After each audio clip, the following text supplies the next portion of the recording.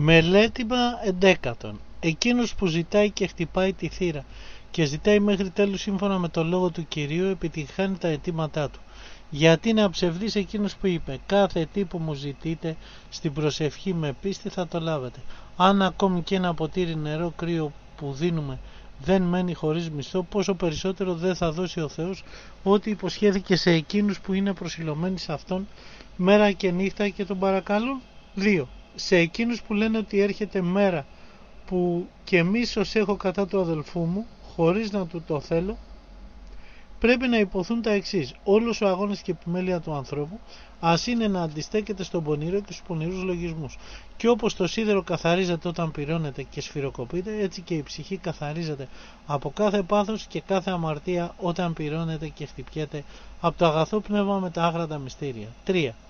Όπως το σιτάρι που είναι σπαρμένο στο, στο ίδιο χωράφι δίνει διαφορετικού μεγέθους τάχια μαζεύεται όμως και αποθηκεύεται στην ίδια αποθήκη. Έτσι και στην Ανάσταση των νεκρών θα υπάρχει διαφορά στη δόξα εκείνων που θα αναστηθούν ανάλογα με τη μέθαξη του Αγίου Πνεύματος που θα έχει κατοικήσει σε αυτούς από τούτη τη ζωή. Αυτό φανερώνει και το αστέρι από αστέρι διαφέρει σε λάμψη που γράφει ο Απόστολος.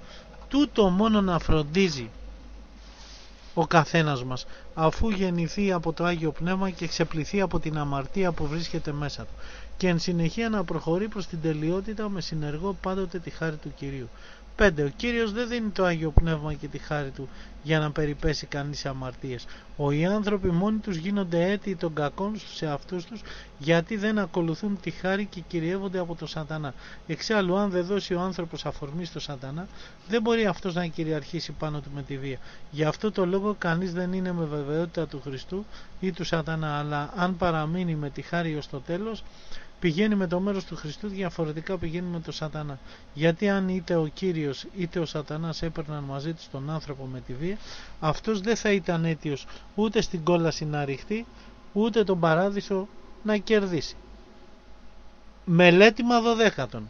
Όπως κάποιος που θέλει να βεβαιωθεί για τη σοφροσύνη της γυναίκας του πηγαίνει σε αυτήν τη νύχτα σαν ξένος και αν δει ότι τον διώχνει χαίρεται που είναι απλησίαστη και την επιδοκιμάζει. Έτσι πρέπει και εμείς να είμαστε επιφυλακτικοί κατά τις επισκέψεις των αερών δυνάμεων. Γιατί όπως λέει ο Απόστολος γνωρίζει ο σατανάς να μετασχηματίζει σε φωτεινό άγγελο για να εξαπατήσει. Αλλά και αν παρουσιαστεί με λαμπρή εμφάνιση δεν μπορεί να δώσει αγαθή ενέργεια αλλά ταραχή και από αυτό φανερώνεται το ψεύτικο προσωπείο του ούτε δηλαδή αγάπη στο Θεό ή στον πλησίον, ούτε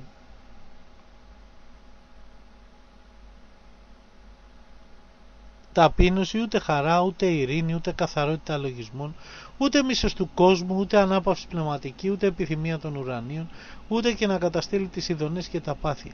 Όλα αυτά είναι φανερά ενεργήματα της Θείας Χάρης. Αντίθετα η έπαρση και η ψηλοφροσύνη είναι τα χαρίσματα του σατανά. Από την ενέργεια λοιπόν θα καταλάβεις αν το φως που έλαμψε στην ψυχή σου είναι από το Θεό ή από το σατανά. Έτσι και η ψυχή μπορεί να διακρίνει τα χαρίσματα του Αγίου Πνεύματος και τα φαντάσματα του σατανά αν έχει δυνατή διάκριση. 2. Εκείνος που θέλει να μπει από τη στενή πύλη στο σπίτι του ισχυρού διαβόλου και να αρπάξει τα σκεύη του δεν πρέπει να επιθυμεί τη μαλθακότητα αλλά να θυμάται πάντοτε εκείνον που είπε ότι σάρκα και αίμα δεν θα κληρονομήσουν τη Βασιλεία του Θεού. Πώς πρέπει να ενδυναμωθούμε από το Πνεύμα, ο Απόστολος λέει; Ότι η σοφία του Θεού θεωρείται μορία από τους ανθρώπους. Επίσης και ο προφήτης λέει «Είδα τον Υιόν του ανθρώπου και η μορφή του ήταν χωρίς καμία τιμή, καταφρονημένη όσο κανενός άλλου ανθρώπου». Πρέπει λοιπόν εκείνος που θέλει να γίνει Υιός του Θεού να υποστεί πρώτα την ίδια ταπείνωση, να θεωρηθεί μωρός και άτιμος και να μην, να μην αποστραφεί το πρόσωπό του από φτισήματα, να μην κυνηγάει ούτε δόξα ούτε μορφιά ή κάτι παρόμοιο αυτού του κόσμου, να μην έχει που να γύρει το κεφάλι του και να ονειδίζεται και να εξουθενώνεται και να τον έχουν όλοι στην περιφρόνηση και τον παραγωνισμό και να αντιμετωπίζει κρυφό και φανερό πόλεμο. Και τότε ο ίδιος ο Υιός του Θεού, εκείνος που είπε θα κατοικήσω μέσα σας και θα βαδίσω μαζί σας, θα φανερωθεί στην καρδιά του και θα του δώσει δύναμη και ισχύ ώστε να δέσει τον ισχυρό και να αρπάξει τα σκεύη του και να πατήσει πάνω σε ασπίδα και βασιλίσκο και πάνω σε σκορπιούς και φίδια. Μελέτημα 13. Πρώτον, δεν είναι μικρός ο αγώνας που χρειάζεται για να συντρίψουμε το θάνατο. Λέει βέβαια ο Κύριος. Η Βασιλεία του Θεού είναι μέσα σας. Βρίσκεται όμως και ο θάνατος μέσα σας που μας πολεμάει και μας εχμαλωτίζει. Αν νικήσουμε σε αυτό τον πόλεμο θα φύγει κάθε πόνος λύπη και στεναγμός και η έρημος καρδιά θα γεμίσει πηγές υδάτων. Ο προφήτης μας πληροφορεί. Εγώ θα δώσω νερό σε εκείνους που βαδίζουν στην κατάξερη έρημο και διψούν. Και ο ίδιος ο Κύριος μας λέγει όποιος πίνει από το νερό που εγώ θα του δώσω δεν θα διψάσει στον αιώνα. 2. Η ψυχή που κεραιεύεται από την ακιδεία, την αφροντισιά, κατέχεται από την απιστία. Γι' αυτό αναβάλει από μέρα σε μέρα και δεν δέχεται το λόγο του Θεού. Πολλές φορές μάλιστα δίνει φτερά στον εαυτό της με όνειρα γιατί την έχει κυριεύσει η ίση η οποία είναι αναπηρία της ψυχής και δεν μπορεί να δει τις αδυναμίες της. 3. Όπως το νεογέννητο βρέφος είναι εικόνα του τέλειου άνδρα έτσι ακριβώς και η ψυχή είναι εικόνα του Θεού που την έπλασε. Όπως λοιπόν το παιδί όσο μεγαλώνει τόσο γνωρίζει τον πατέρα του και την πατρική του περιουσία που μένει να κληρονομήσει. Έτσι και η ψυχή πριν την παρακοή προοδεύοντας θα έφτανε στα μέτρα της τελειότητας του Χριστού, του Χριστού μας. Αφού όμως παρήκουσε, απομακρύθηκε από το Θεό και σκοτίστηκε και πλανήθηκε μακριά από το Θεό. Ο Θεός όμως δεν έπαυσε να την καλεί κοντά του άλλοτε με τους προφήτες και άλλοτε με τον ερχομό του στη γη. Χάρη της σωτηρίας του ανθρώπου υπομένει, υπομένει ονειδισμούς, ύβρις, ραπίσματα και τέλος σταυρικό θάνατο για να μας υποδείξει ποια διάθεση να έχουμε σε εκείνους που μας ονειδίζουν και ξεφτιλίζουν ή επιδιώκουν και το θάματό μας ακόμη. Να γίνουμε δηλαδή σαν κοφή και άλελοι παρακολώντας τον Κύριο να μας καθαρίσει από τα κρυμμένα πάθη μας. Οπότε θα γίνουμε άμετοι, τότε θα βρούμε εκείνον που και θα βρούμε την αιώνια ανάπαυση μαζί με τον Χριστό μας. 4. Αν θέλεις να αποκτήσεις άνθρωπε τη δόξα που είχες στην αρχή και που χάθηκε, κάνε το εξής. Όπως παραμέλησες στι εντολές του Θεού και υπέγυψες στι συμβουλές του Σατανά, έτσι τώρα να επιστρέψεις στον κύριο. Οπότε με πολύ κόπο και υδρότα να πάρεις πίσω τον πλούτο σου. Όποιος λοιπόν νοιάζεται για την ψυχή του πρέπει να βιάζει τον εαυτό του να διατηρήσει το ναό του Θεού άσπηλο. Τότε έρχεται εκείνος που υποσχέθηκε ότι θα κατοικήσει μετά μας και θα περιπατήσει μαζί μας. Οπότε η ψυχή μας καταξιώνεται να γίνει ναός του Θεού. Μελέτημα 14 Πρώτον, ο λόγος που είπε ο Θεός στον Κάιν ότι η ζωή σου στη γη θα είναι γεμάτη στεναγμούς, τρόμο και αγωνία ταιριάζει για όλους τους αμαρτωλούς.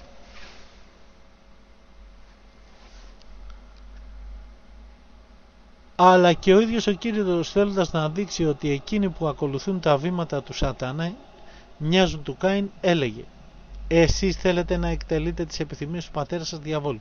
Εκείνος ήταν ανθρωποχθόνος από την αρχή και δεν στάθηκε ποτέ μέσα στην αλήθεια. Μόνο οι πνευματικοί άνθρωποι αδιαφορούν για την ανθρώπινη δόξα και την περιφρονούν, επειδή έχουν πληγωθεί και επιθυμούν άλλη δόξα. Γι' αυτό και ελευθερώνουν τον εαυτό τους από κάθε φιλία του κόσμου για να μπορέσουν να έχουν μόνο τον θείο πόθο στην καρδιά τους. Γιατί όσο, όσοι θέλουν να τρέξουν με ασφάλεια μέχρι τέλους στο δρόμο, δεν ανέχονται να αναμίξουν άλλον έρωτα και άλλη αγάπη με εκείνη την επουράνη. 3. Όπως όλα είναι μεγάλα και απερίγραπτα, τα αγαθά που μας υποσχέθηκε ο Θεός έτσι χρειάζονται και πολλούς κόπους και αγώνες. Είπε ο Κύριος, όποιος θέλει να με ακολουθήσει, ας απαρνηθεί τον εαυτό του, ας σηκώσει το σταυρό του και ας με ακολουθεί. Οι περισσότεροι άνθρωποι είναι τόσο ανόητοι, ώστε θέλουν να αποκτήσουν την ουράνια βασιλεία και να κληρομίσουν την αιώνια ζωή και να βασιλέψουν χωρίς τέλος μαζί με τον Χριστό, χωρίς να πάψουν να ζουν με τα δικά τους θελήματα και να ακολουθούν αυτά που είναι μάτια και ολοφάνερα βλαβερά. 4. Αυτοί που παραμένουν μέχρι το τέλος άπτωτοι είναι όσοι μίσησαν όλες τις επιθυμίες του κόσμου και τις φαντασιώσεις του κόσμου και τις ειδονές και τις κοσμικές ασχολίες ώστε με τη δική του θέληση ο καθένας διώχνεται από τη βασιλεία. Επειδή δεν προτίμησε αληθινά τους κόπους και δεν απαρνήθηκε τον εαυτό του αλλά θέλει μαζί με το θεϊκό πόδο να δοκιμάσει και μερικές ευχαριστίες αυτού του κόσμου 5.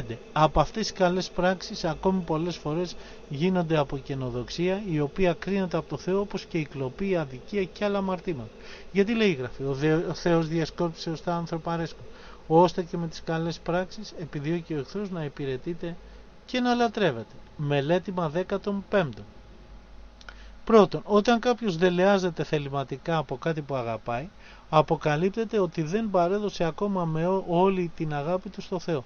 Λόγου χάρη, αγάπησε ένα κτήματα ή χρήματα ή την κοιλιοδουλία ή να χαρίζεται στις αμαρτωλές αρκετές επιθυμίες ή στα αξιώματα και τις τιμές των ανθρώπων ή στην οργή, στην νησικακία και άλλα πάθη. Άλλος αφήνει το νου του να τρέχει εδώ και εκεί να κάνει το δάσκαλο για ανθρώπινη δόξα ή να ευχαριστιέται να στολίζεται τα ωραία ενδύματα. Γιατί όποιο πάθος δεν πολεμάει και δεν του αντιστέκεται, με αυτό το πάθος οπωσδήποτε ευχαριστείται. Και αυτό το πάθος τον τραβάει προς τα κάτω και δεν τον αφήνει να ανυψωθεί προς το Θεό. 2. Α υποθέσουμε ότι πιάνει φωτιά το σπίτι κάποιου. Ο, εάν θελήσει να σώσει τον εαυτό του, θα φύγει γυμνός αφήνοντας όλα να καίγονται. Άλλος όμως προσπαθώντας να περισσώσει μερικά σκεύη του σπιτιού, περικυκλώνεται από τη φωτιά και καίγεται και αυτός. Βλέπεις πως από την προσήλωσή του σε κάτι κοσμικό χάνει κανείς και την ψυχή του και το σώμα του. 3.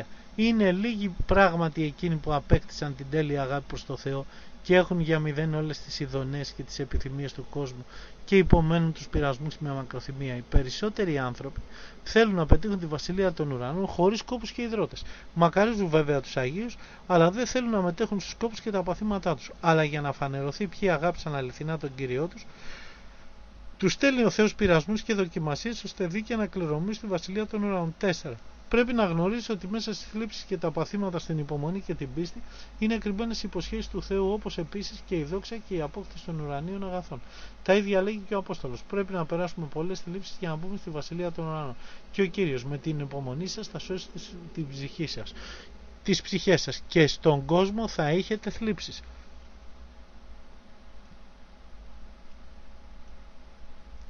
5.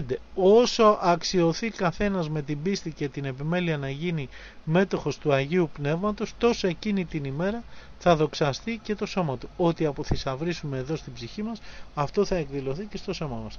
Γιατί τότε θα δοξαστούμε με το άρρητο φως που έχουμε από τώρα μέσα μας, δηλαδή με τη δύναμη του Αγίου Πνεύματος, που θα είναι τότε για αυτούς ένδυμα, τροφή, ποτό, αγαλίαση, χαρά, ειρήνη και γενικά ζωή αιώνιος.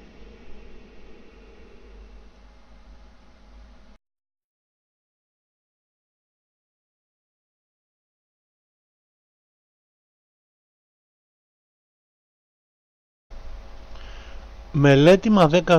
Μακάριος Μωυσής με τη δόξα του Αγίου Πνεύματος που έλαμπε στο πρόσωπό του, την οποία κανείς άνθρωπος δεν μπορούσε να ατενίσει, προτύπωσε πως θα δοξαστούν στην Ανάσταση των Δικαίων τα σώματα των Αγίων. Ο Μωυσής έμεινε στο όρος 40 ημέρες και 40 νύχτες και δεν έφαγε ούτε ήπια. Άρα δεχόταν κάποια τροφή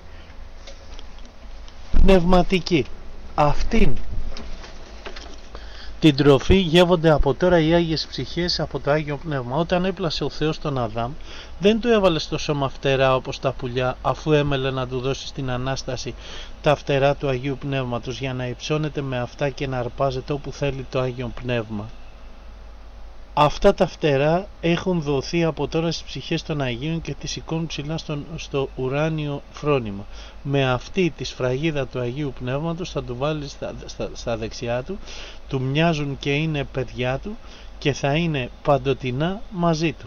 Τρίτον, θέλημα της ψυχής είναι να διατηρεί τα μέλη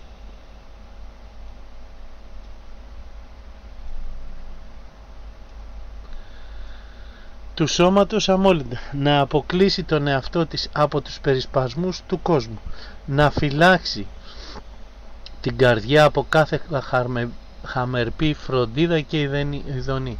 Όποτε του προσφέρεται και η βοήθεια της Θείας, οπότε του προσφέρεται και η βοήθεια της Θείας Χάριτος. Τι όμως να κάνει ο Θεός σε εκείνον που προσφέρει τον εαυτό του στον κόσμο και τρέχει πίσω από τις ειδονές του, 4. Οι πέντε παρθένες που αγρύπνησαν και πήραν μέσα στην καρδιά τους το ξένο προς τη φύση τους λάδι, δηλαδή τη χάρη του Αγίου Πνεύματος, μπόρεσαν να μπουν μαζί με τον Ιμφίο στον Ιμφώνα.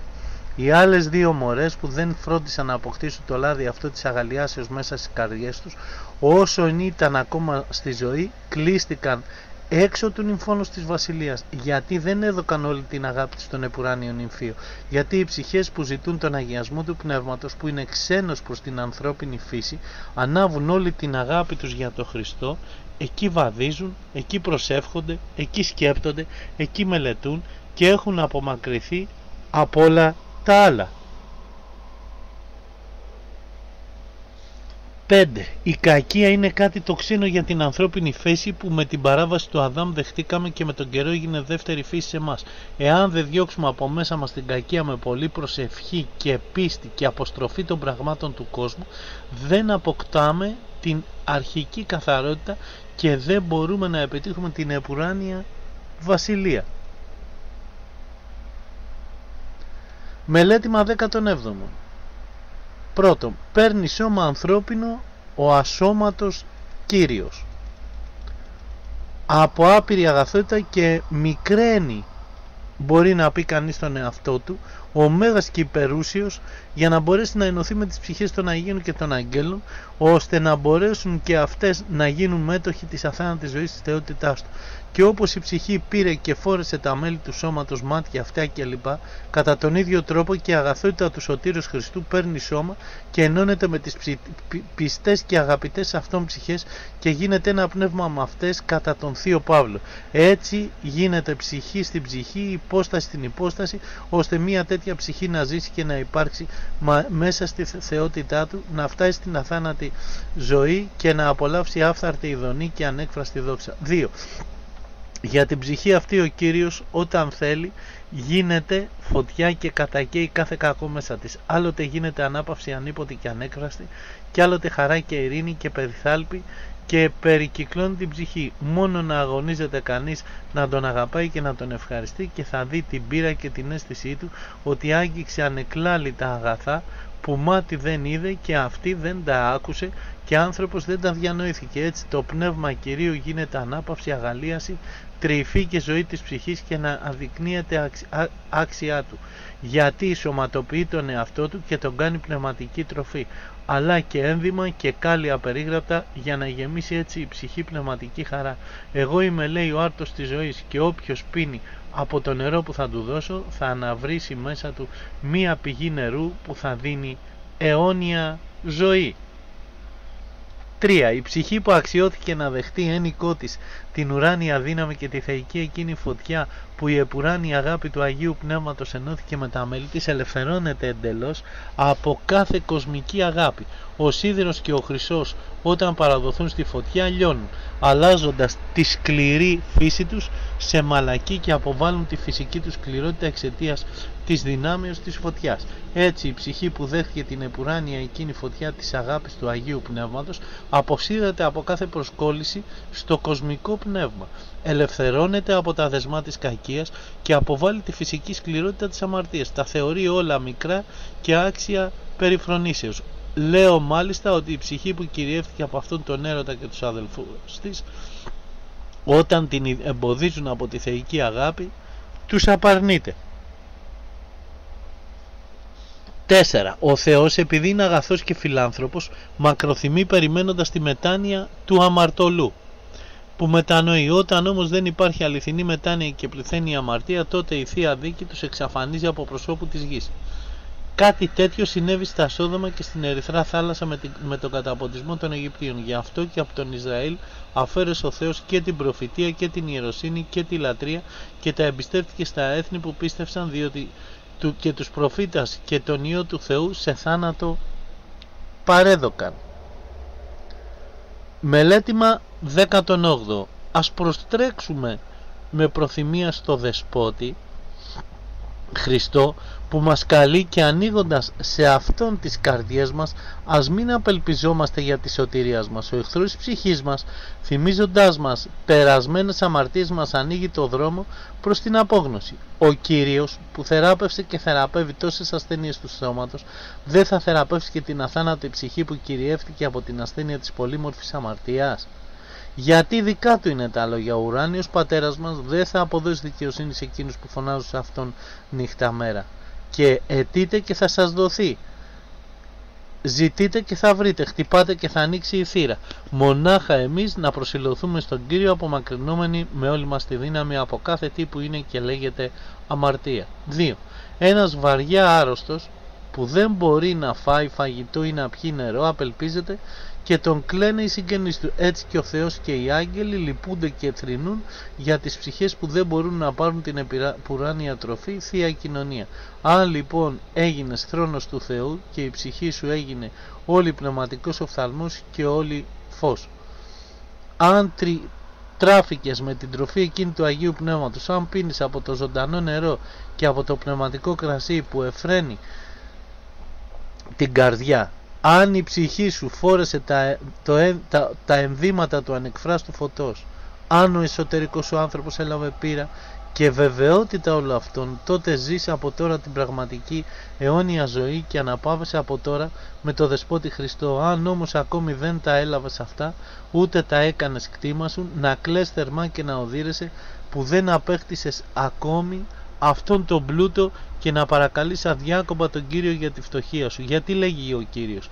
Κάθε ένας που ζητάει βρίσκει και όπως, όποιος χτυπά θα του ανοιχτεί η θύρα. 3. Αν το λάδι εκείνο των προφητών έδινε το βασιλικό αξίωμα πόσο περισσότερο εκείνοι που χρήονται στον εσωτερικό άνθρωπο με το αγιαστικό λάδι της αγαλιάσεως και δέχονται τον αραβόνα του Αγίου Πνεύματος θα φτάσουν τα μέτρα της τελειότητας και θα κληρονομήσουν τη βασιλεία του Πανβασιλέως Χριστού γιατί λόγω του αραβόνα του πνεύματος που πήραν είναι σίγουρες οι ελπίδες τους ότι θα συμβασιλεύσουν με τον βασιλέα Χριστό διότι από τούτη τη ζωή δοκίμασαν μέσα τους την ειδονή και τη χάρη του, Αγίου Πνεύμα, του Παναγίου Πνεύματος. Οι τέτοιοι άνθρωποι αρπάζονται από τώρα νοερά σε εκείνο το εναιώνα και βλέπουν τα κάλλη και τα θαύματά του με τις άδυτες λάμψεις του Κυρίου μας Ιησού Χριστού.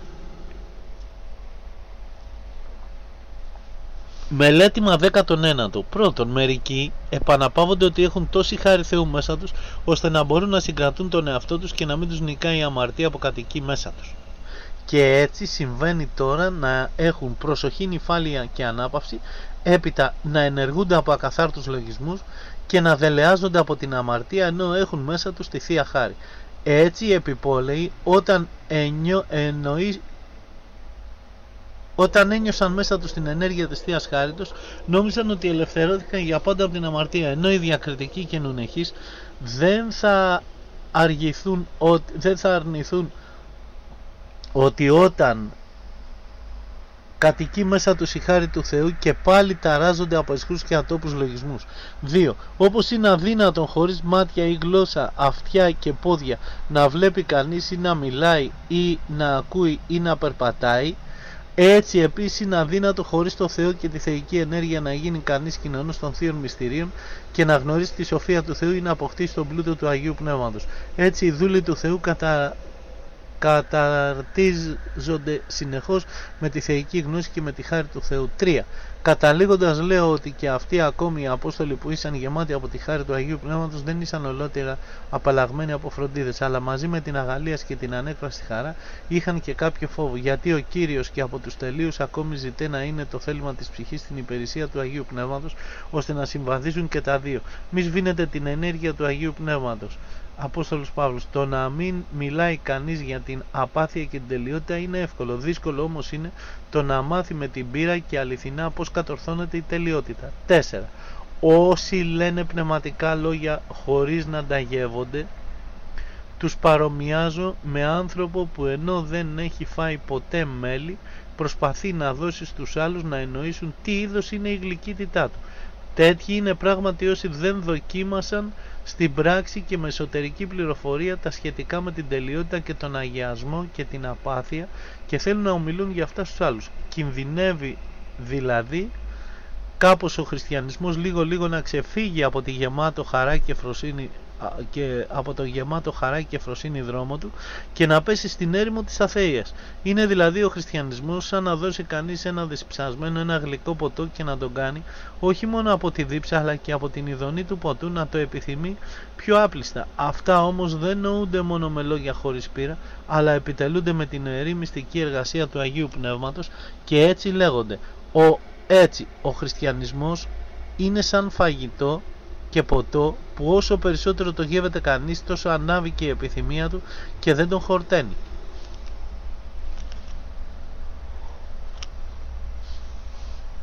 Μελέτημα 20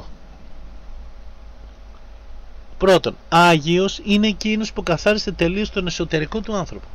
Κάποιος αδελφός, ενώ προσευχόταν μαζί με άλλους αδελφούς, εχμαλωτίστηκε από τη θεία δύναμη και με ραπαγή του νου είδε την Άνω Ιερουσαλήμ και τα εκεί φωτεινά κατοικητήρια και φως άπειρο και ανέκφραστο και άκουσε φωνή αυτός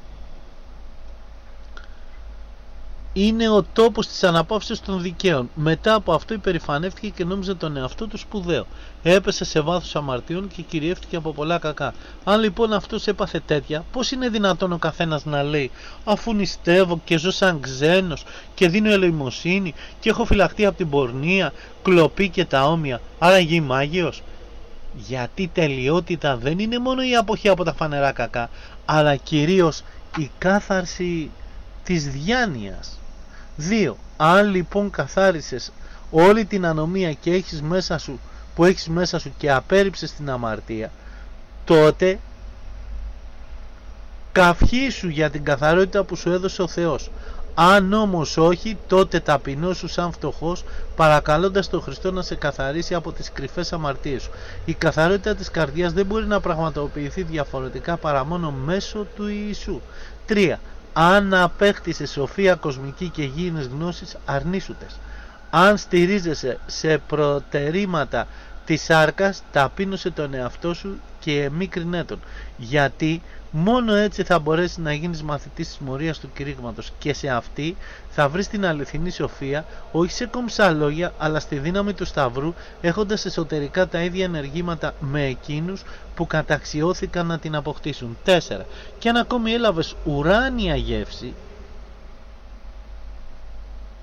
και αν ακόμη έγινες μέτοχος εκείνης της σοφίας και απέκτησες ανάπαυση στην ψυχή σου, μην υπερηφανεύασαι. Μην να ξεθαρεύεις σαν να κατέκτησες όλη την αλήθεια και για να μην, ακού, για να μην ακούσεις κι εσύ το του Θείου Παύλου. Τώρα πλέον είσαστε χορτάτη. Τώρα πλέον γίνατε πλούσιοι. Χωρίς εμάς κατακτήσατε τη βασιλεία των ουρανών. Αλλά κι αν γεύτηκε στα ουράνια να πιστεύεις ότι δεν άγγιξες ακόμη το Χριστό αυτό το φρόνημα να κυριαρχεί μέσα στην διάνοιά σου.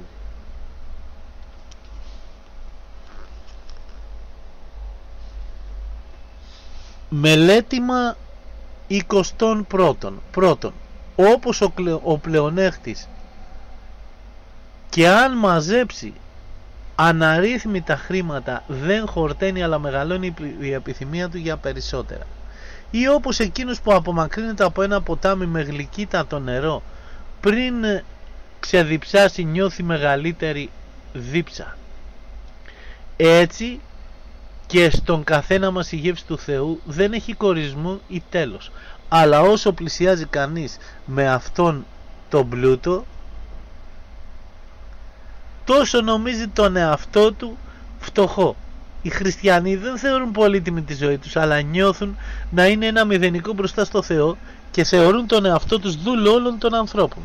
Πολύ χαίρεται ο Θεός και αναπαύεται με αυτή την ψυχή για την ταπείνωσή της. Αν λοιπόν έχει κανείς κάποιο καλό ή και είναι πνευματικά πλούσιος, να μην νομίζει ότι είναι πνευματικά πλούσιος, να μην νομίζει ότι είναι κάτι ή έχει κάτι, γιατί ο Κύριος συχαίνεται την ίηση και αυτή έχει διώξει τον άνθρωπο από τον παράδεισο με το θα είστε σαν θεοί του σατανά. Σκέψου ότι ο Κύριος και ο Θεός σου Ιησούς κένωσε τον εαυτό του παίρνοντας δούλου μορφή και σταυρώθηκε και συγκαταρρυθμίθηκε μεταξύ των κακούργων.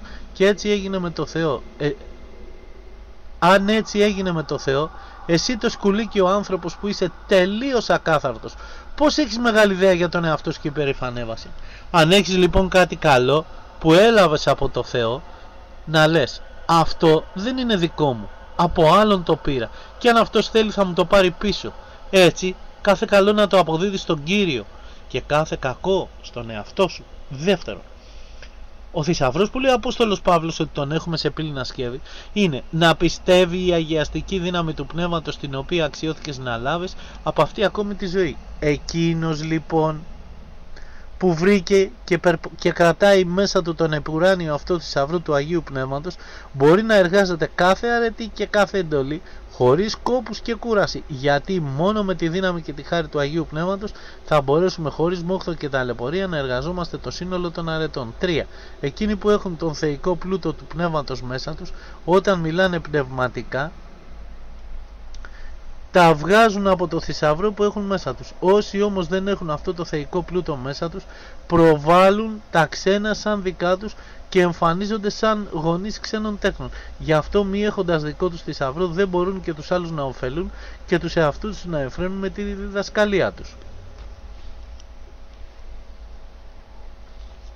Μελέτημα 22. Εκείνοι που αξιώθηκαν να γίνουν τέκνα Θεού και να έχουν το Χριστό μέσα τους περιθάλπονται στα βάθη της καρδιάς σου από τη Θεία Χάρη. Συμβαίνει δηλαδή καμία φορά οι άνθρωποι αυτοί σαν να βρίσκονται σε βασιλικό δείπνο να εφραίνονται και να χαίρονται με κάποια ανέκφραστη και ανίποτη αγαλίαση. Και άλλοτε σαν αιώνιφοι να νιώθουν πνευματική δονή ενώ άλλοτε σαν ασώματοι άγγελοι να αισθάνονται τόση ελαφρότητα στο σώμα τους ώστε να νομίζουν ότι δεν έχουν σώμα. Και άλλοτε πάλι το πνεύμα άναψε μέσα τους τόση αγάπη ενωμένη με ανίποτη δονή ώστε αν ήταν δυνατόν κάθε άνθρωπο να τον αγκαλιάσουν χωρίς να ξεχωρίζουν καλό ή κακό. Άλλοτε δε τόσο πολύ εξουδένωσε τον τον εαυτό τους ώστε να νομίζουν ότι κανένας δεν είναι παρακάτω από αυτούς αλλά ότι είναι τελευταίοι από όλους. Πότε τους κυκλώνει η μεγάλη γαλήνη και η ησυχία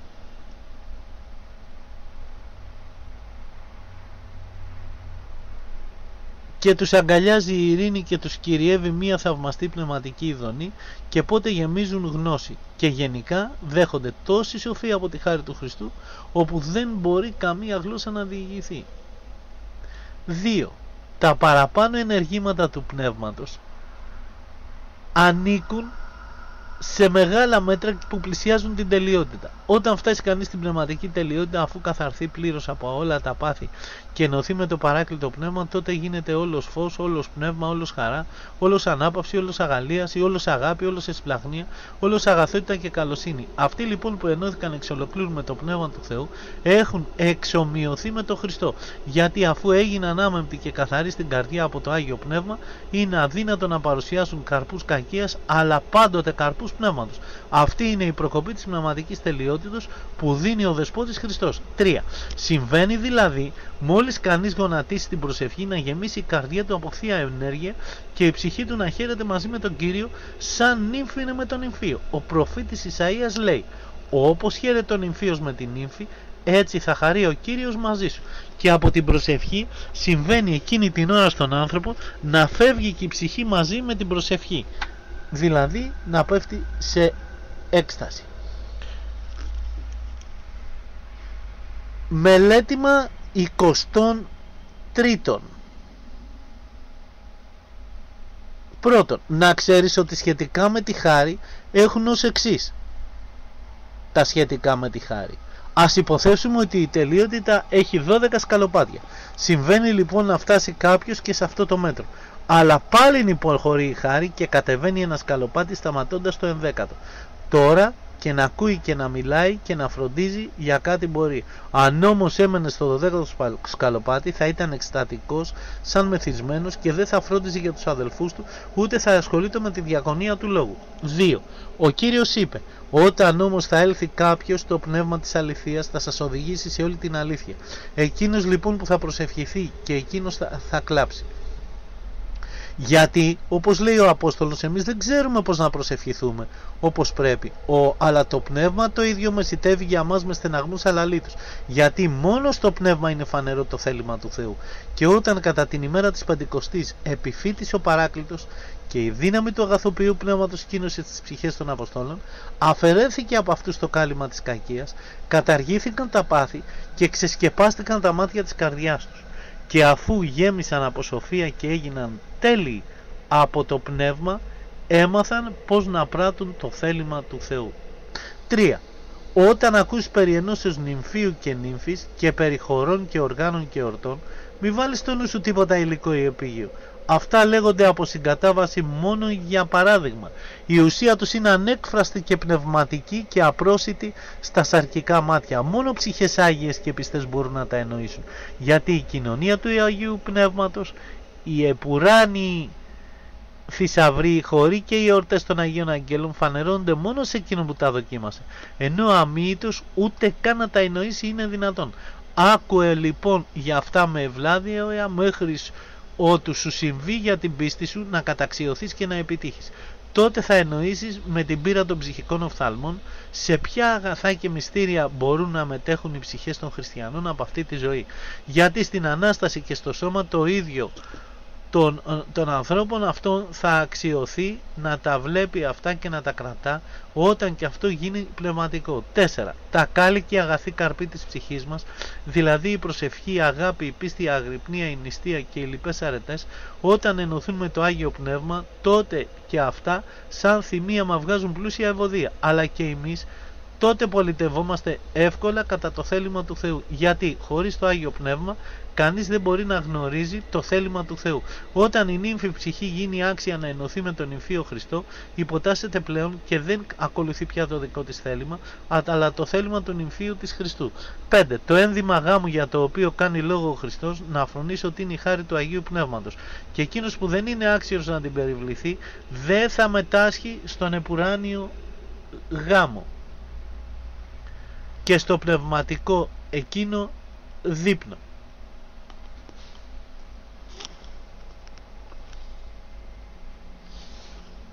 Μελέτημα 24.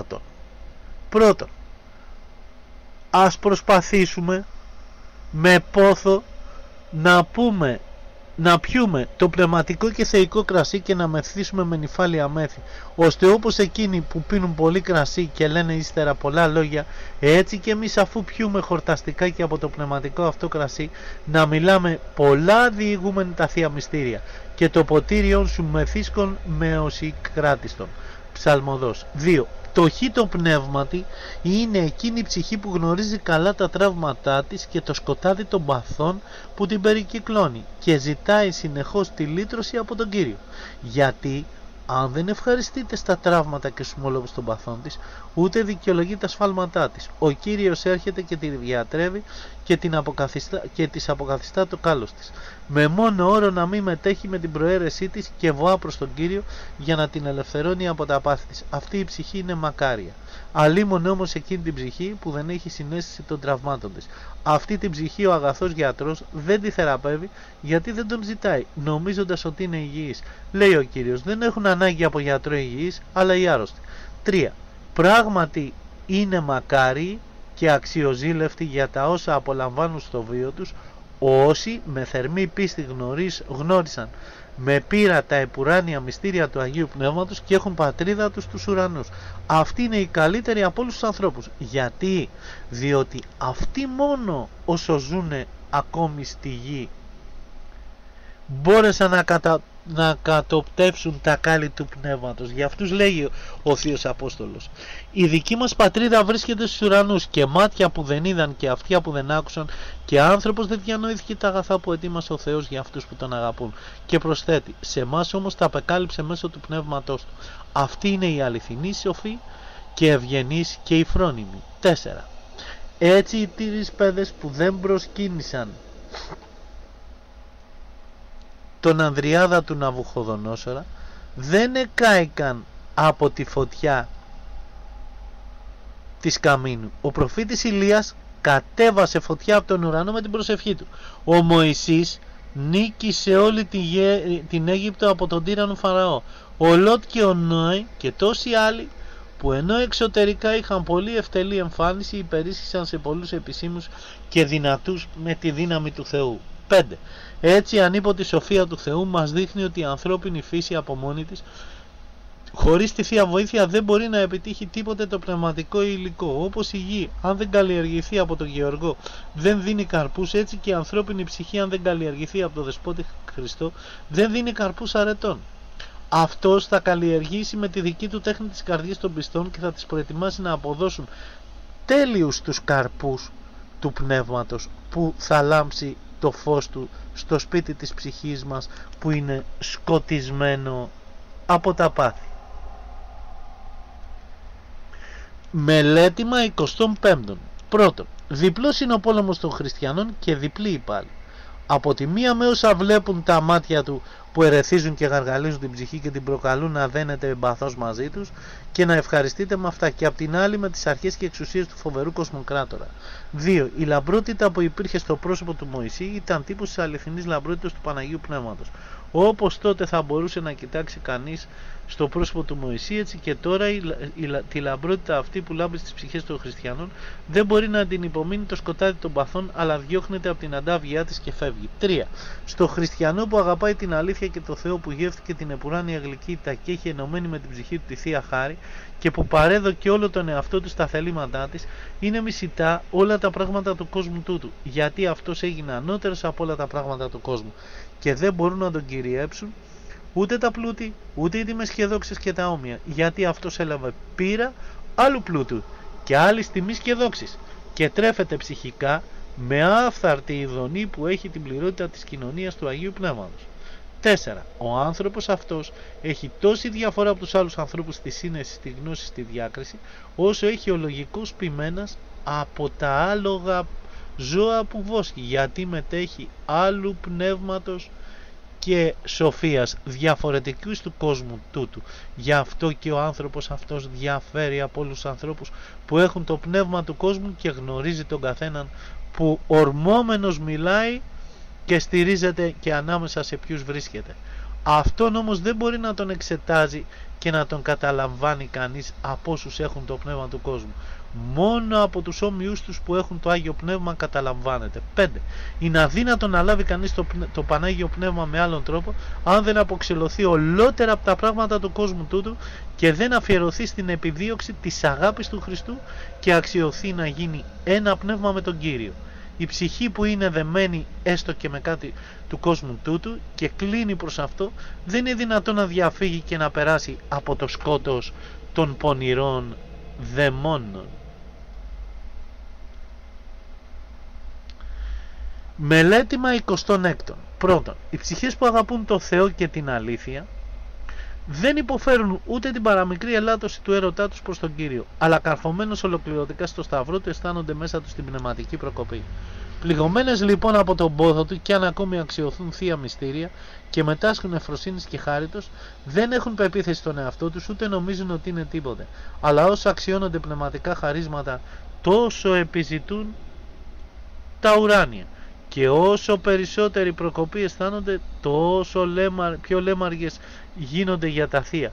Και ενώ είναι πνευματικά πλούσιες κάνουν σαν να είναι φτωχές Όσοι με τρώνε θα πεινάσουν κι άλλο και όσοι με πίνουν θα διψάσουν κι άλλο, λέει η Θεία Γραφή.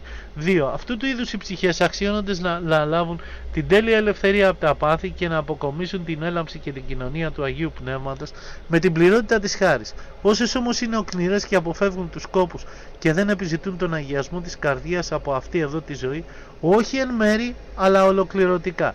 Αυτές Ας μην ελπίζουν να κοινωνήσουν το Άγιο Πνεύμα και να απαλλαγούν από τα πάθη της κακίας. Αυτές και αν αξιωθούν τη Θεία Χάρη, επειδή ξεγελιούνται από την κακία, αφήνουν κάθε πνευματική φροντίδα, διότι απολαμβάνουν ολίγη πνευματική γλυκύτητα.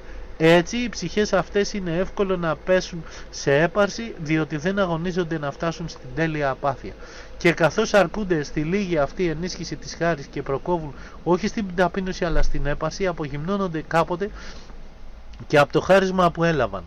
Γιατί η ψυχή που αγαπάει αληθινά τον Θεό και αν ακόμη μυριάδες αρετές κατορθώσει έχει τέτοια μετριοφροσύνη σαν να έχει αρχίσει ακόμη να ζει κατά το θέλημα του Θεού και νιώθει απληστία και έρωτα για τη θεία αγάπη που εμπνέει ο Δεσπότης Χριστός. 3. Στα πνευματικά αυτά μέτρα ούτε μόνο μιας, ούτε εύκολα μπορεί να φτάσει κανείς, αλλά αφού προηγηθούν πολλοί κόποι και αγώνες και περάσουν χρόνια με δοκιμασίες και ποικίλους πειρασμούς μέχρι το τέλειο μέτρο της απάθειας.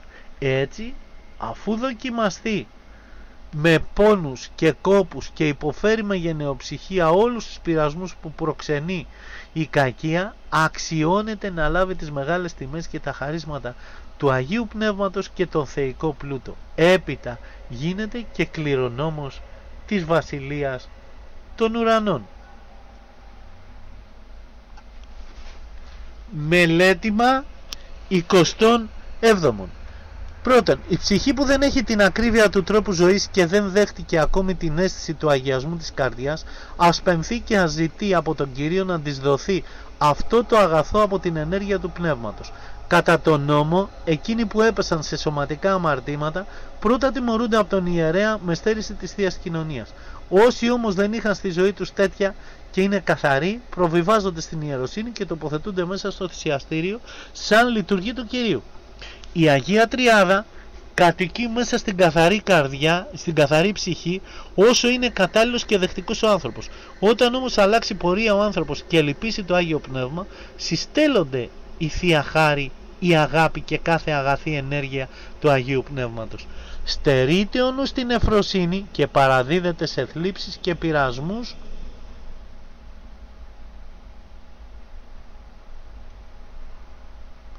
μέχρι ότου ορθοποδήσει και πάλι η ψυχή κατόπιν αφού δείξει τη μετάνοια με εξομολόγηση και ταπείνωση πάλι αξιώνεται θεία χάριτος και απολαμβάνει εφροσύνης περισσότερο από πρώτα. Αντίθετα αν δεν λυπήσει το, Πανάγιο, το Άγιο Πνεύμα τότε προκόβει η ψυχή και προχωρεί από δόξα σε δόξα, από ανάπαυση σε ανάπαυση, σε τελειότερη ανάπαυση και αναρρυθμείται στους τέλειους εργάτες και άμεμπτους λειτουργούς του Χριστού στην αιώνια βασιλεία του.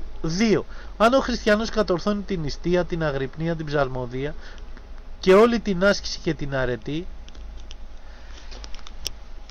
αλλά η μυστική ενέργεια του πνεύματος δεν κελαϊδάει μέσα στην καρδιά του και δεν νιώθει την αγαλίαση να τον πλημμυρίζει τότε αέρα αβέρει και μάτι νεκοπίασε. 3. Καλή είναι η νηστεία και η αγρυπνία, η άσκηση και η ξενιτεία.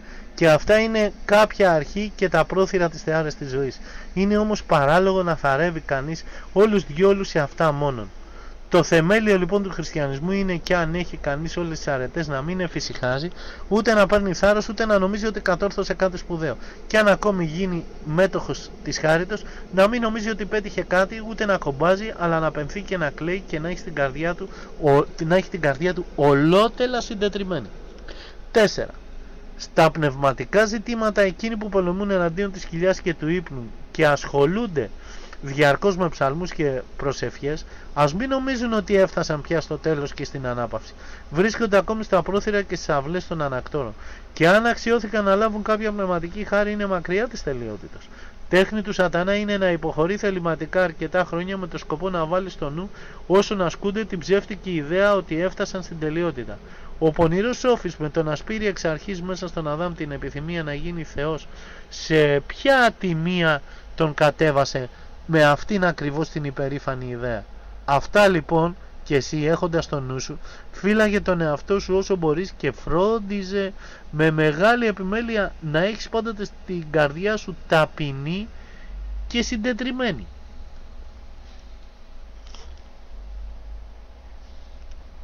Μελέτημα 28. Συμβαίνει πολλές φορές να σου μιλάει με λογισμούς ο σατανάς και να σου λέει «Κοίταξε πόσα κακά έργα έχεις κάνει». Η ψυχή σου είναι γεμάτη ανομίες. Βαρύνεσαι με πολλές και βαρύτατες αμαρτίες. Μη σε ξεγελάει με αυτό ο Σατανάς και με πρόφαση ταπεινώσεω σε σπρώχνει στην απελπισία. Εσύ λοιπόν αποκρίσου του. Ναι, αλλά έχω γραπτές τις διαβεβαίωση του Θεού που λέει Δεν επιθυμώ το θάνατο του αμαρτωλού, αλλά να επιστρέψει με τη μετάνοια και να έχει ζωή. Γιατί τότε τι ήθελε να κατέβει ο Θεός στη γη αν όχι για να σώσει τους αμαρτωλούς και να φωτίσει αυτούς που ζουν στο σκοτάδι και να δώσει ζωή στους νεκρούς από την αμαρτία. 2. Όπως η σατανική δύναμη έτσι και η Θεία Χάρη προτρέπει χωρίς να εξαναγκάζει. Και αυτό για να διαφυλάσσεται η ελευθερία και η αυτοεξουσιότητά μας. Γι' αυτό και όσα κακά κάνει ο άνθρωπος με την υπόδειξη του σατανά δέχεται αυτός και όχι ο σατανάς την τιμωρία. Γιατί δεν σύρθηκε με τη βία αλλά με το θέλημά του υπάκουσε στην κακία. Το ίδιο συμβαίνει και με το αγαθό. Ούτε πάλι η χάρη δεσμεύει με αναγκαστική δύναμη τη θέληση του ανθρώπου, ώστε να μην μπορεί να κάνει κάτι διαφορετικό.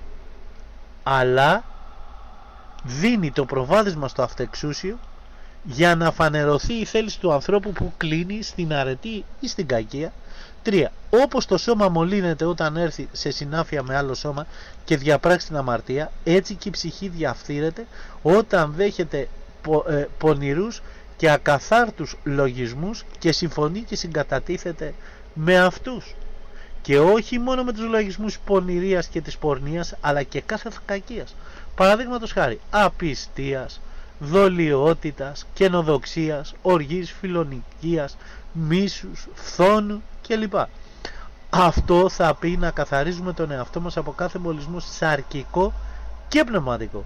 Και όπως εκείνος που διαφθείρει το ναό του Θεού, δηλαδή το σώμα, θα τον αφανίσει ο Θεός κατά τον Απόστολο και έτσι και εκείνος που διαφθείρει την ψυχή και το νου, με το να συμφωνεί με τα άτοπα είναι άξιος να τιμωρηθεί. Πρόσεξε τι λέει και η Γραφή με κάθε προσοχή φύλαγε την καρδιά σου γιατί από αυτό θα οδηγηθείς στη ζωή. 3. Ο καθένας μας οφείλει να εξετάσει ποιες είναι οι κλήσεις της ψυχής μας. Ας διατηρούμε λοιπόν την ψυχή μας καθαρή από πονηρούς λογισμούς και να έρθει μέσα μας ο καθαρός Θεός για να κατοικήσει. Γιατί αυτός υποσχέθηκε ότι θα έρθει και θα κατοικήσει μόνο στις καθαρές ψυχές που αγαπάνε το καλό.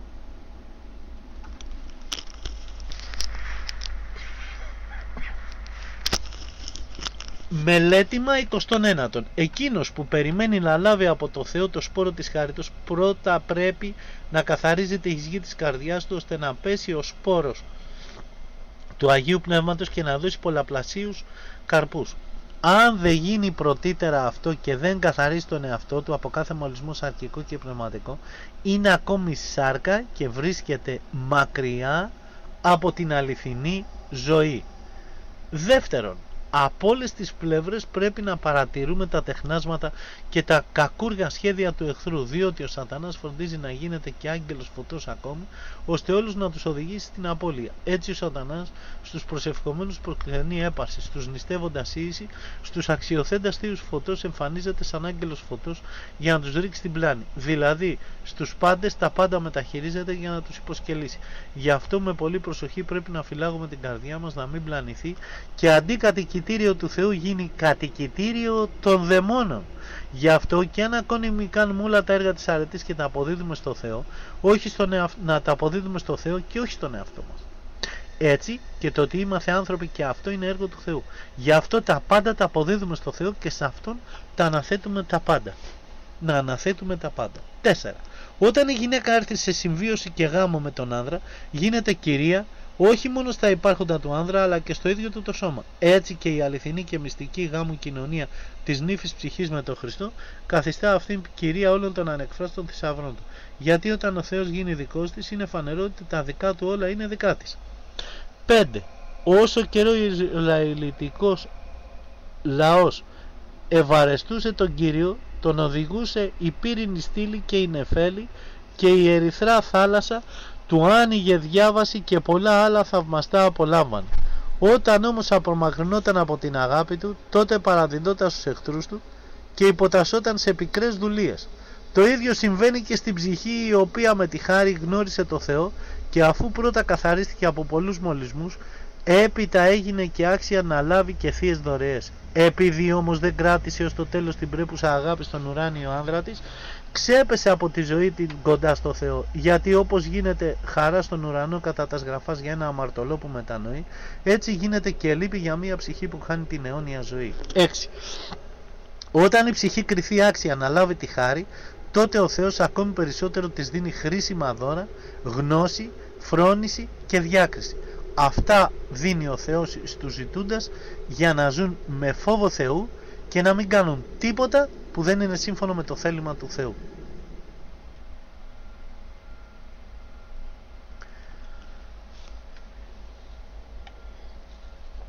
Μελέτημα τριακοστών. Πρώτον, όπως η ενέργεια των παθών τους σκότους και της αμαρτίας θα κατοικήσει σε άνθρωπο που είναι γεμάτος από σαρκικό φρόνημα, έτσι και η ενέργεια του φωτεινού πνεύματος θα κατοικήσει μέσα στον άνθρωπο που αγιάστηκε.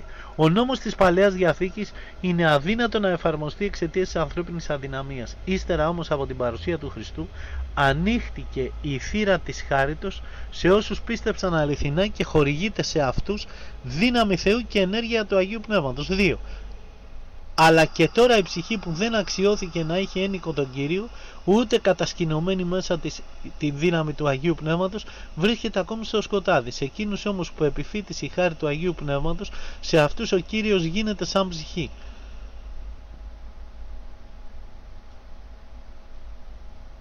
Πόσο μεγάλη αγαθότητα έδειξε ο Θεός στην ανθρώπινη φύση που τόσο είχε ε, ταπεινώσει η αμαρτία. Έτσι όταν η ψυχή συζούσε με την κακία των παθών ήταν ένα με αυτή και δεν μπορούσε να κάνει το καλό που ήθελε να κάνει. Τώρα όμως που η δύναμη και χάρη του Θεού επεσκέφτηκε την ψυχή και την αγίασε, έγινε ένα το θέλημα του Θεού και το θέλημα της ψυχής. Τρία. Εκείνος λοιπόν που θέλει να γίνει μιμητής του Χριστού και Υιός του Θεού, γεννημένος με το Άγιο Πνεύμα, οφείλει να υπομένει τις θλίψεις δηλαδή τις σωματικές ασθένειες, ύβρις και ονειδισμούς από τους ανθρώπους και επιθέσεις δαιμόνων με γενεοψυχία και καρτερία, γιατί κατ' οικονομία Θεού παραχωρείται η δοκιμασία των θλίψεων για να φανερωθούν οι ψυχές που τον αγαπούν ειλικρινά. Παιδί μου, αν έρχεσαι να υπηρετήσεις τον Κύριο, ετοίμασε την ψυχή σου για πειρασμούς και όλα όσα σου, σου έρχονται δέξου τα σαν καλά γνωρίζοντας ότι χωρίς να θέλει ο Θεός τίποτα δεν γίνεται. Λέει η Αγία Γραφή, ουδέποτε όμως ο Θεός άφησε την ψυχή που ελπίζει σε Αυτόν να καταβληθεί από τους πειρασμούς και να απελπιστεί. Γνωρίζει ο Θεός το βάρος των θλίψεων που μπορεί να σηκώσει μία ψυχή για να γίνει δόκιμη και κατάλληλη για τη Βασιλεία των Ουρανών. 4. Μερικές ψυχές αν και έλαβαν τη Θεία Χάρη και ένιωσαν τη γλυκύτητα και την ανάπαυση του Αγίου Πνεύματος, επειδή όμως ακόμη δεν δοκιμάστηκαν από τα πονηρά πνεύματα με διάφορες θλίψεις, εξακολουθούν να είναι νήπιες και δεν είναι ακόμη κατάλληλες για τη Βασιλεία των Ουρανών, ώστε και οι πειρασμοί και οι θλίψεις για το συμφέρον στέλνονται στους ανθρώπους να κάνουν την ψυχή πιο γνήσια και πιο στερεή.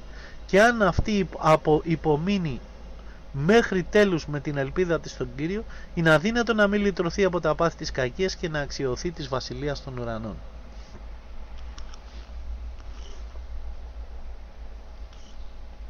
Μελέτημα 31. Οι Άγιοι Μάρτυρες αφού υπέφεραν πολλά βασανιστήρια και έδειξαν καρτερία μέχρι το θάνατο, έγιναν άξιοι για τα στεφάνια και τη δόξα. Και όσο περισσότερα και σκληρότερα ήταν τα βάσανα που υπέφεραν, τόσο περισσότερη δόξα και παρησία απέκτησαν ενώπιον του Θεού. Κατά τον ίδιο τρόπο και οι ψυχές που παραδόθηκαν σε διάφορες θλίψεις, είτε εξ ανθρώπων είτε εξ σωματικών ασθενειών, αν κάνουν μέχρι τέλος υπομονή και δεν γογγίσουν, θα αξιωθούν τα ίδια στεφάνια και την ίδια απαρισία με τους μάρτυρες. Και όλα αυτά όχι μόνο στο μέλλον θα απολαύσουν από το Θεό, αλλά και εδώ θα αξιωθούν την παρηγοριά του Αγίου Πνεύματος. 2. Επειδή ο δρόμος που οδηγεί στην ουράνια ζωή είναι ομολογουμένος στενός και γεμάτος θλίψεις και είναι λίγοι εκείνοι που τον βαδίζουν, γι' αυτό πρέπει να, για χάρη της ελπίδας του ουρανού να υπομένουμε σταθερά κάθε δοκιμασία του πονηρού. Τα παθήματα του καιρού τούτου θα ισοσταθμίζουν τη δόξα που μέλει να μας δοθεί, γιατί όταν είμαστε στον κόσμο δεν μας έβρισκαν τόσοι πειρασμοί, Τούτο συμβαίνει επειδή φθονεί ο εχθρός την ανταπόδοση που ελπίζουμε από το Θεό και θέλει να βάλει μέσα στις ψυχές μας τη χάμνωση και τη ραθυμία για να μην ζήσουμε ευάρεστα στο Θεό και αξιοθούμε τη βασιλεία του. Ας θυμηθούμε ότι και εκείνος έτσι πέρασε από αυτόν τον κόσμο, υβριζόμενος, διοκόμενος, εμπεζόμενος και τέλος θανατώθηκε με ατιμωτικό τρόπο επάνω στο Σταυρό. 3. Αν θέλουμε να υποφέρουμε με ευκολία την κάθε θλίψη από τους πειρασμούς, ας έχουμε μπρος στα μάτια μας πάντοτε το θάνατο για χάρη του Χριστού μας. Τέτοια εντολή έχουμε να σηκώνουμε το σταυρό μας και να τον ακολουθούμε πρόθυμοι και έτοιμοι για το θάνατο. Γιατί εκείνος που επιθυμεί να πεθάνει για τον Χριστό καθόλου δεν θα δυσκολευτεί στα επίπονα και λυπηρά. Και όποιος θέλει να γίνει κληρονόμος του Χριστού πρέπει να επιθυμεί και τα πάθη του με ζήλο. 4.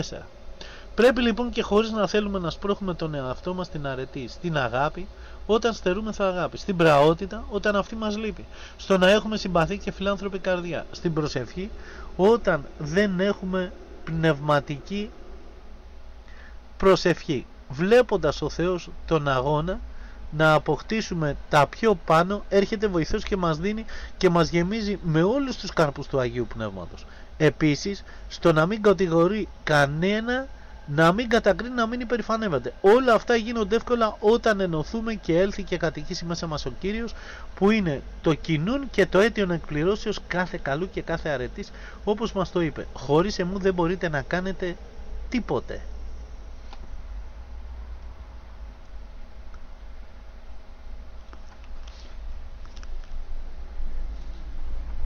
Μελέτημα 32. Μπορούμε να πούμε ότι η ανάπαυση του αγαθοποιού πνεύματος είναι η ταπεινοφροσύνη, η αγάπη, η πραότητα και όλες οι άλλες εντολές του Χριστού μας. Εκείνος που θέλει να φτάσει μέσω όλο αυτό στην τελειότητα ας κάνει σύντροφό του την πρώτη αρετή. Την προσευχή. Με αυτήν αποκτά όλες τις αρετές και τη μητέρα τους που είναι η ταπεινοφροσύνη.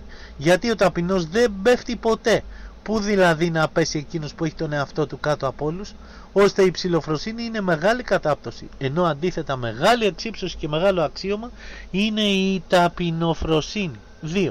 Επειδή δεν είναι μόνο η φτωχία και η αφάνεια, αλλά παρόμοια και ο πλούτος και η τιμή γίνονται πειρασμοί για την ψυχή και αυτή η παρηγορία και ανάπαυση με την οποία γεμίζει την ψυχή η χάρη είναι πολύ εύκολο να της γίνει πειρασμός και εμπόδιο προξενώντας τη χάβνωση και την αδιαφορία. Στον αμελή και φτωχό στην πίστη και νήπιο στο φρόνημα όλα γίνονται εμπόδιο για την αιώνια ζωή. Δηλαδή τα λυπηρά και επίπονα, ασθένειες, πτωχία και ασημότητα και τα αντίθετα πλούτος, δόξα και έπαινη από τους ανθρώπους μαζί με τον αφανή πόλεμο του πονηρού. Έτσι κατά τον Θείο Απόστολο για όσους αγαπούν το Θεό όλα συνεργούν στην απόκτηση της Βασιλείας του Θεού. 3. Το τέλειο μυστήριο του χριστιανισμού γίνεται γνωστό με την πείρα σε κάθε πιστή ψυχή διαμέσου Θείας Ενεργείας η οποία είναι έλλειψη του επουρανίου φωτός με τη δύναμη του Αγίου Πνεύματος. Λέει ο Θείος Απόστολος. Όλοι εμείς όσοι γεννηθήκαμε από το Άγιο Πνεύμα με τέλεια πίστη, με ακάλυπτο το πρόσωπο της ψυχής, κοιτάζουμε σαν σε καθρέφτη τη λαμπρότητα του Κυρίου και μεταμορφωνόμαστε σε αυτήν τη λαμπρή εικόνα του, ανεβαίνοντας από λαμπρότητα σε λαμπρότητα με την ενέργεια του Πνεύματος το οποίο είναι ο Κύριος. Τώρα όμως πιστεύουμε ότι με την έλαμψη του πνεύματος αφαιρείται το σκοτεινό κάλυμα της ψυχής από τις πραγματικά πιστές και άξιες ψυχές. Γι' αυτό ήλθε στη γη μας ο Χριστός και ευδόκησε να φτάσουν σε μέτρα αγιότητος εκείνοι που πιστεύουν αληθινά. 4. Αυτή η έλαμψη του πνεύματος δεν είναι μόνο σαν μία αποκάλυψη νοημάτων και φωτισμός της χάριτος, αλλά μία βέβαιη και αδιάκοπη έλαμψη υποστατικού φω... φωτός στις ψυχές. Λέει η Αγία Γραφή, ο Θεός που είπε να λάμψει το φως από το σκοτάδι, αυτός έλαμψε μέσα στις καρδιές μας και μας φώτισε να γνωρίζουμε τη δόξα του Χριστού και φώτισε τα μάτια μου για να μην κοιμηθώ για το θάνατο. Δηλαδή όταν χωριστεί η ψυχή από το σώμα να βρεθεί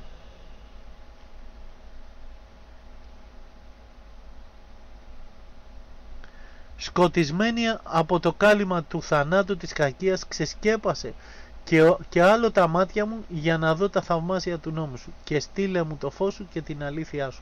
Αυτά θα με οδηγήσουν και θα με φέρουν στο Άγιον Όρο σου και στο ναό σου. Έλαμψε πάνω μας το φως του προσώπου σου Κύριε.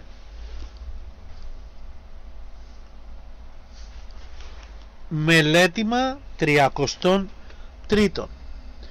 Πρώτον, επίσης και το φως που έλαψε στο μακάριο Παύλο στο δρόμο της Δαμασκού με τον οποίο υψώθηκε ως τρίτου ουρανού και άκουσε αλλά αλάλητα μυστήρια δεν ήταν κάποιος φωτισμός νοημάτων και γνώσεως. Ήταν υποστατική μέσα στην ψυχή η έλαμψη της δυνάμεις του αγαθού πνεύματος, την υπερβολική λαμπρότητα αυτού του φωτός δεν μπόρεσαν να αντέξουν τα σαρκικά μάτια και τυφλώθηκαν. Με αυτό το φως αποκαλύπτεται κάθε γνώση και γνωστοποιείται αληθινά ο Θεός στην άξια και αγαπόμενη από Αυτόν ψυχή. 2. Κάθε ψυχή που με τη δική της επιμέλεια και πίστη αξιώθηκε να αντιθεί, αποδώ τελείως το Χριστό με την εσωτερική πληροφορία της χάριτος, μοιείται από τώρα στη γνώση όλων των ουρανίων μυστηρίων. Κατά δε τη μεγάλη μέρα της Αναστάσεως και το σώμα της θα συνδοξαστεί με την ίδια δόξα και θα αρπαγεί στους ουρανούς από το πνεύμα. Οπότε θα αξιωθεί να γίνει όμοιο με το δεξασμένο σώμα του Χριστού μας και έτσι θα κληρονομήσει και την αιώνια χαρά στη Βασιλεία των Ουρανών μαζί με το Δεσπότη Χριστό μας. 3. Η θεόμορφη εικόνα του Αγίου Πνεύματος που έχουν οι Άγιοι κατά κάποιο τρόπο σαν τυπωμένη από τώρα μέσα μας θα κάνει τότε και το σώμα εξωτερικά θεόμορφο και ουράνιο. Στους αμαρτωλούς αλίμονο το σκοτεινό κάλυμα του κοσμικού πνεύματος που τύλιξε την ψυχή τους και με τα πάθη έκανε το νου του σκοτεινό θα παρουσιάσει τότε και το σώμα σκοτεινό και γεμάτο από κάθε λογής ντροπή. 4. Με την παράβαση η αγαθότητα του Θεού καταδίκασε σε θάνατο τον Αδάμ. Ήρθε πρώτα ο θάνατος στην ψυχή του και ακολούθησε ο σωματικός θάνατος μετά 930 χρόνια. Έτσι και τώρα ο Θεός με το σταυρικό θάνατο του Σωτήρα Χριστού συμφιλιώθηκε με τον άνθρωπο που αληθινά πίστεψε και ξαναζωντάνεψε την ψυχή του για να ξαναζωντανέψει και να ντύσει με αθάνατη και αυτάρτη δόξα το σώμα του. 5. Γιατί όπως λέει ο Μακάριος Παύλος η στερεή τροφή είναι για τους τελείους οι οποίοι έχουν γυμνασμένα τα πνευματικά αισθητήρια στο να διακρίνουν το καλό από το κακό. Αλλά και ο Θείος Πέτρος λέει και εσείς έχοντας τα λόγια των προφητών καλά θα κάνετε να τα προσέχετε. Γιατί σαν λιχνάρι που φέγγει στο σκοτάδι ώσπου να χαράξει η μέρα και να ανατέλει στις καρδιές σας ο αυγερινός. Αλλά οι πολλοί δεν διαφέρουν διόλου από εκείνους που βαδίζουν τη νύχτα χωρίς κανένα φως και χωρίς την παραμικρή ακτίνα. Χωρίς δηλαδή κανέ κάποιο θεϊκό λόγο να φωτίζει στις ψυχές τους, ώστε σχεδόν να μοιάζουν με τυφλούς. Αυτοί είναι οι ολότελα δεμένοι με τα δεσμά της ύλης και τις βιωτικές αλυσίδες. Και ούτε ο φόβος του Θεού τους συγκρατεί, ούτε κανένα αργαθό έργο κάνουν. Γιατί όσοι από εκείνους που ζουν μέσα στον κόσμο κρατούν την πίστη και το φόβο του Θεού, αυτοί δεν τυλίγονται ολότελα στο σκοτάδι. Γι' αυτό και μπορούν να έχουν ελπίδα σωτηρίας.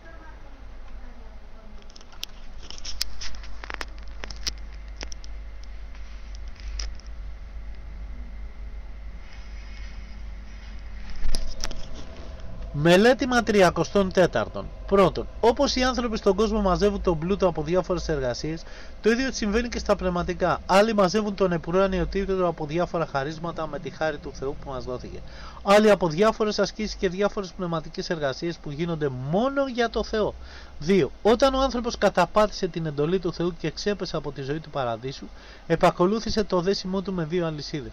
Η μία είναι ο δεσμός των βιωτικών φροντίδων και των σαρκικών ειδονών, όπως είναι ο πλούτος, η δόξα, η φιλία, η γυναίκα, τα παιδιά, οι συγγενείς, η πατρίδα, τα χτήματα και γενικά όλα τα ορατά. Η άλλη αλυσίδα είναι αόρατη και εσωτερική.